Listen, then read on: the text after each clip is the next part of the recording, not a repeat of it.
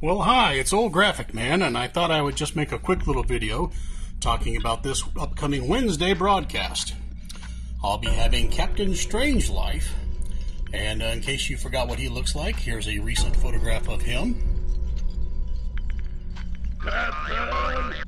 So you be sure to tune in this Wednesday night on the Graphic Man channel to see Captain Strangelife. Some boxes you guys don't often get to see way up here. Keeps going and going and going and going and going and going. Oh, who cares? Anyway, we'll be showing a lot of great funny animal comics. And uh, as you can see, I've just put in the Super Comics box next to my Dick Tracy box. Fun, fun, fun. But that, that won't be the subject of the show.